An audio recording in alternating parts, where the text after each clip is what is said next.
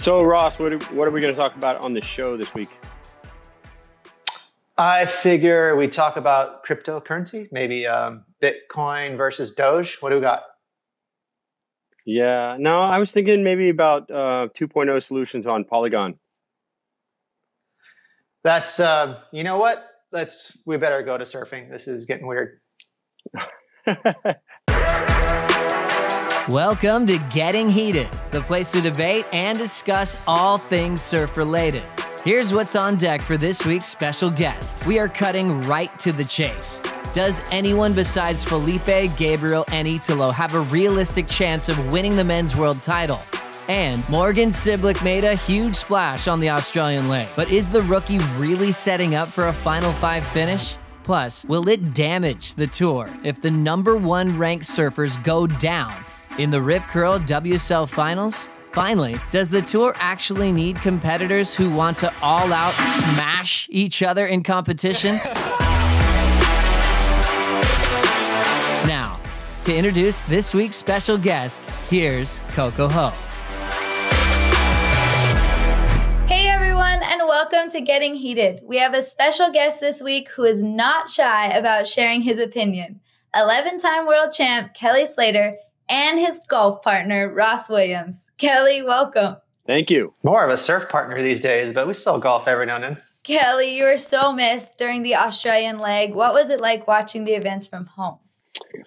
It was inter- interesting. There was parts of it that I missed. Um, the chance to go to Newcastle and spend time with MR, for instance, I was really looking forward to that. You know, getting towards the obviously the end of my career, doing a, a lap where I get to go through there and see the fans that I met back in the day and and some of the friends and all that kind of stuff. I, I did miss those aspects of it. I here and there miss a few of the heat situations, um, but I was dedicated to just sort of planting my butt in Hawaii and letting my injuries settle down and doing some rehab. The Aussie leg produced four Brazilian champs, which is a good sign of who will be fighting for the world title and also the subject of our heat number one.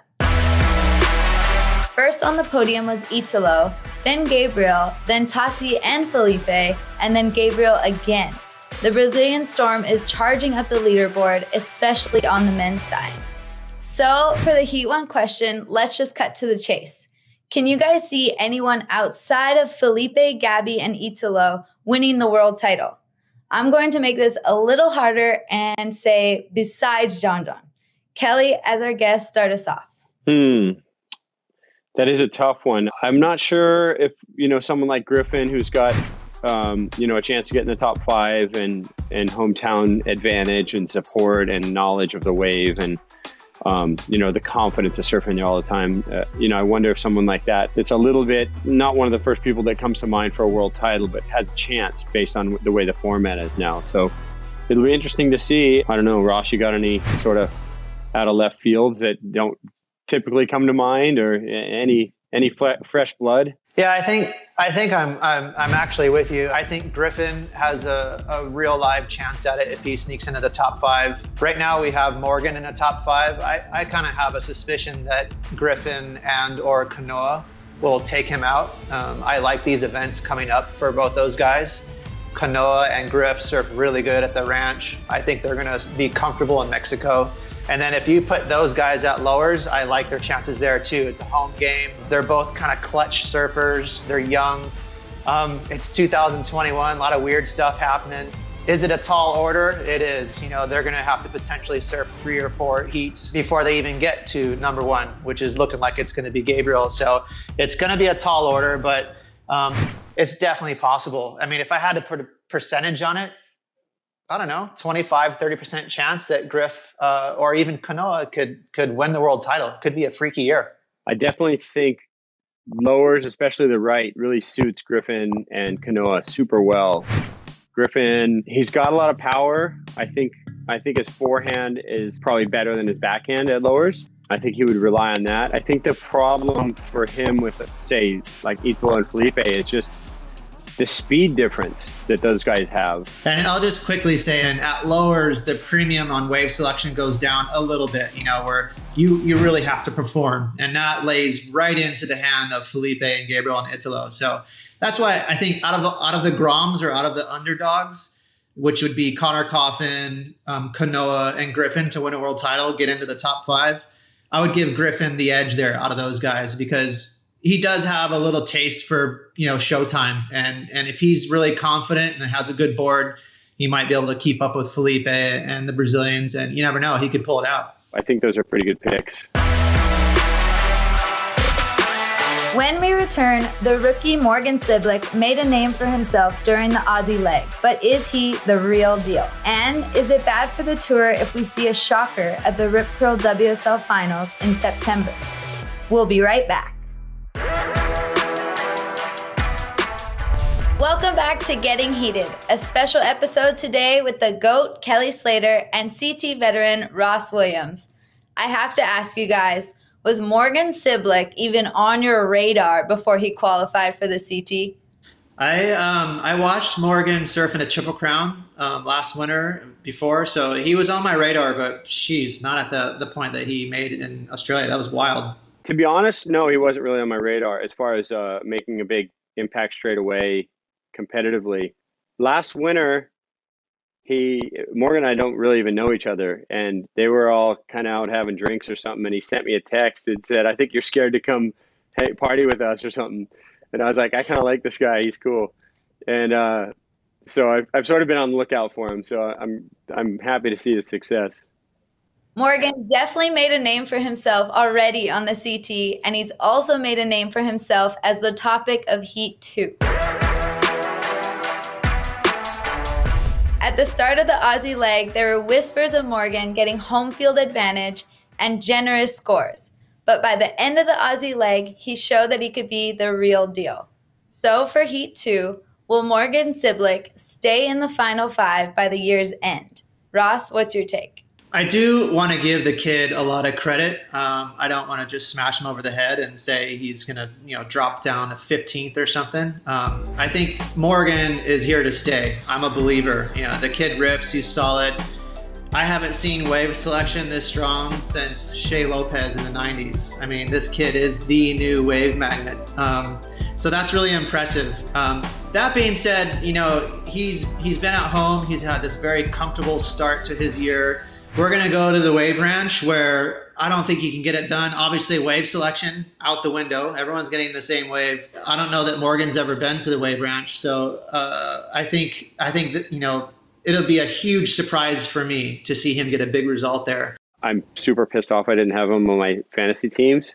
Um, uh, so I'm a little bitter, you know, but he surfed great, and um, uh, I, I'm not sure that I personally put him in the top five uh, surfers on tour at, at this point. Because going into Surf Ranch, it's not an especially difficult recipe to figure out there. The wave comes, it's going to be the same as the one the other guy got. The wind might be a factor, but Griffin and Kanoa are especially good at Surf Ranch. So to me, they're sort of shoe ins for the quarterfinals, along with the top three guys.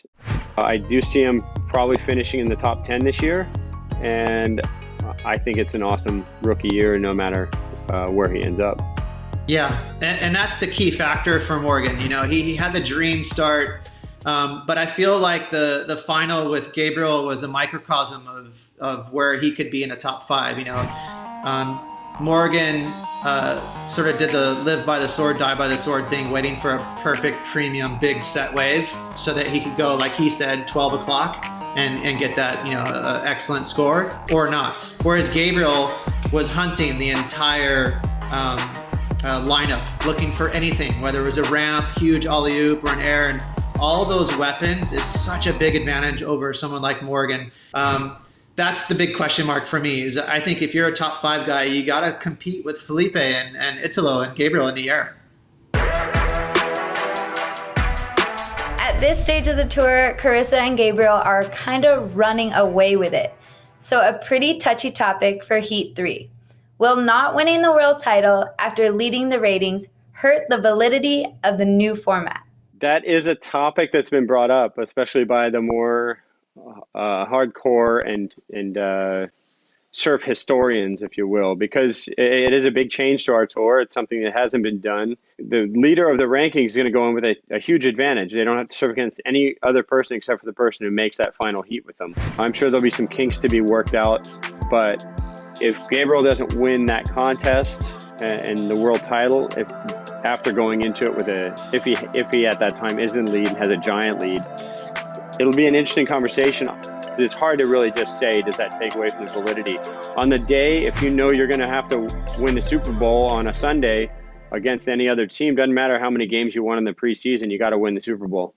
This potentially has a chance to once again transform our sport for the better.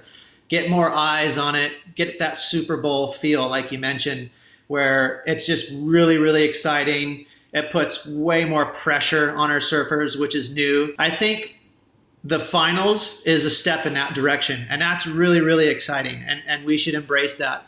That being said, I think we could make some sort of appeasement. And I, I would I would put forth an idea of winning a, a, prize money and winning a trophy, maybe calling it the Kelly Slater Trophy or the Mark Richards Trophy for the the ratings leader at the end of the year. I think golf does something like that. And I really like that because that surfer, whether it's Carissa or Gabby or whoever, they do deserve something because you know 10 months of leading the ratings or leading the ratings at the end of that time period is very very tough. And that and that's where these historians will argue like hey it's you know there's so much to prove being a leading, leading the ratings after pipe after chopes after the wave pool after all these events that accumulation of points means a lot anyone can get hot for one day at lowers, and that's the argument, right? That's the balance. Yeah, I like that idea because that's kind of a tip of hat, tip of the hat, like the Tour de France does. You know, you win a you win a leg um, during that month of the Tour de France. You wear a certain color or stripe, right? And if you're leading, you're wearing the yellow jersey, that sort of thing. So I like honoring the, wins that people have, it, whether it's a single wave or a season or a leg in a country or whatever. I think there's something cool to that. I think Trestles is fair because it's a high performance wave, and that's what you look for in pro surfing is high performance. But I mean, I, am happy with Pipeline being last event. I, I love that battle of uh, you know having to kind of put it all on the line and potentially you know killing yourself at Pipeline. It just it just it's barbaric in a way, and it, that's why we love Chopu so much. And I think that's what's exciting for us as surfers too. Um, you know, if, if somebody does win because they got the better two foot wave, it'll be a little bit uh, tough as a historian uh, or somebody who's more grassroots uh, about the history of the sport, that kind of thing. So, yeah, I'm I'm with you on that. When we return, one of the most competitive athletes of all time weighs in on smashing his fellow competitors. We're going deep into it next. Oh my god.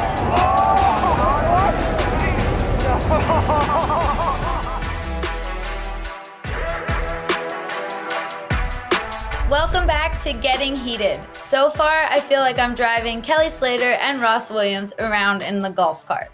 Is this what the conversations are like, you guys? Pretty much. We're just talking about how Kelly made an eight footer for birdie usually.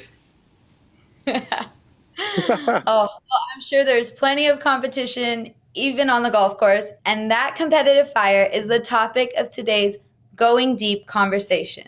There were times throughout both of your careers where rivalries ran deep on tour. Fast forward to today, does it hurt the tour to not have competitors who want to smash each other? Who are openly gunning for each other and honest about it. Kelly, as a slightly competitive athlete yourself, what's your take on this? Stepping away from it and just being a fan on the sidelines watching, it, it definitely takes away from it, I think. Um, you, you like that animosity between people because it just builds up that tension. Like I said before, I watch a lot of UFC and I love those fights where there's two guys that just hate each other but then afterwards, they hug it out and high five, and they're like, you know what, he got the better of me, or whatever. Um, you know, when you leave it all in the ring or in the water, I think that's exciting for people.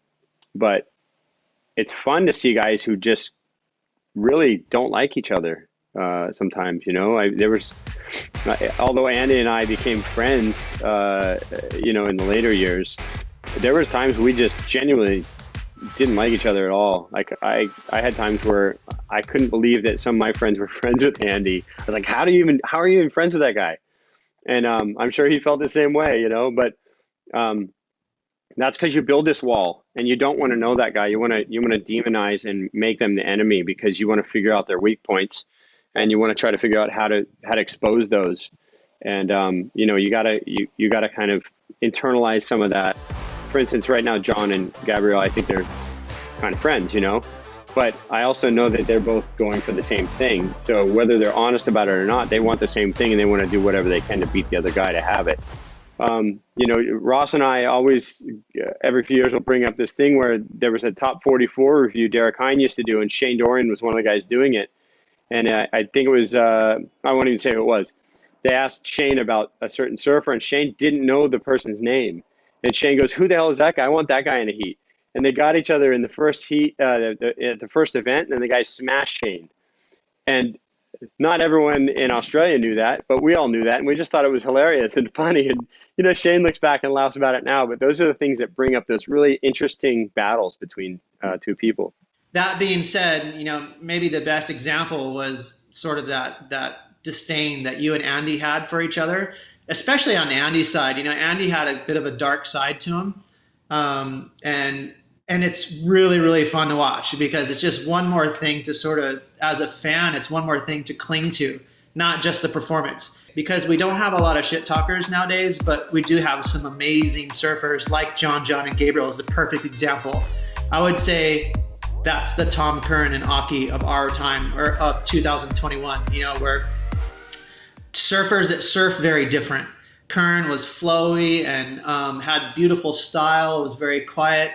Occy was a little more rough around the edges and surfed so different. You know, regular, goofy. So that contrast is something that a fan can really hold on to. So it doesn't always have to be about you know talking trash, um, but it does help. Like you, you pointing that out. Like John is a very sort of quiet, reserved type of person. Gabby doesn't say a whole lot, but um, he clearly is a, a demon in the water. You know, he wants to win at any and all costs, and you've seen it. He is the most ruthless competitor that maybe I've ever seen on tour. I mean, it reminds me of only a couple guys I, I can remember surfing against, like a Robbie Bain or um, Potts. You know, a couple of those guys were, were pretty vicious, but and that's the way that Gabe is now. Zeke was that way with John at Bells, and um, it creates this controversy and it creates these talking points that become interesting. You know, Zeke probably knew that just on the basis of going out there and surfing, John's probably going to beat him more times than he's going to beat John. But he's got to figure out something to throw John off his game, so he did it. Yeah, and, and that's the thing because uh, you know these rivals and um, things to cling on to. Again, as a fan, it, it, doesn't always have to be about the trash talk, but um, man, it, you almost can't draw much more of a different line between Gabriel and John John. So that's kind of is the, the example that everyone keeps going to because they surf so different. As you mentioned, Gabriel's, uh, you know, way more of a competitor. You know, he's he's he's out there constantly analyzing uh, the the landscape and how he's going to win. Whereas you have someone like John John, who's more of a natural surfer, who's out there and has a lot of pride in his surfing. He wants to surf really, really well, and that's how he ends up winning. But that being said, it, it really is fun when someone's a little more brash. Um, you mentioned Aki and how he made that statement. I can kind of see even maybe Morgan Cibilic being a little, um, like you mentioned, his phone call to you, just kind of, um, you know, something funny with his friends. So he obviously has that cheeky side to him. So I, I look for that as a fan. That's fun. I hope that stays around because um, that is like a little bit of a tribute to the '80s. I have two two quick little stories at heats. One was in uh, France in 1990 in Hossegor. I'm surfing against Gerlach, and he and I had this heat, and he's winning the heat, and I had fallen on a couple waves, and I only needed, I didn't need a very big score to beat him. I needed about a five, and I had priority.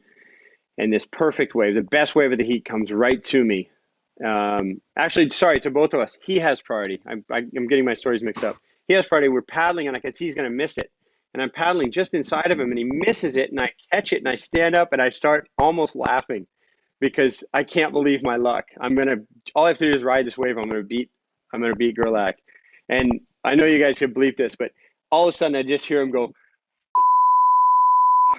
as loud as he could from behind the wave, and I dug my rail and fell, and he beat me, and and uh, I was just like, oh my god! I just let it go. He just totally threw me off my game, and I had an I had another one with Potts in um 90 early 90s, maybe 94 and he was riding Twinzers. I don't know if you remember that phase. He was riding those four fin Twinzers, and and and it was barely breaking. It was it was sort of fun, small little rights with these the south wind. There's these little wedges, and I thought, oh, I could, I think I could battle with him today. You know, I think I could feel good, and I. I got in the lead to start, and Potts got a really good score, and he came back out, and there's no one. It was rainy and cold on the beach. No one really on the beach, and no one in the water at all. And Potts comes and sits closer to me than I am to this computer right now. And he's like basically rubbing shoulders with me and and uh I just thought, man, I can't deal with this tension. It's like, and I had already beat him the year before, a year or two before in in in Lacanau, and I was like, I couldn't deal with the tension. So I wanted to make a joke and be like, they, I heard him on say on the mic, Martin Potter, you need like a 1.3 to pull in the lead, and I just wanted to go, do you think you can get it? just to break the tension, but I was too scared of Potts because he was like big and scary and hairy and stuff. Those were two great Kelly moments that I never, I don't think I would have learned unless you told us today. There's a lot more that, where that came from. Believe me, 30 years on tour, I got some, I got some stories. That does it for today's episode of Getting Heated. You can direct all your opinions about what you heard today directly to Kelly Slater's Instagram he'll get back to each huh. and every of you. Thanks so 100%. much, Coco. No, she was lying. Don't do that.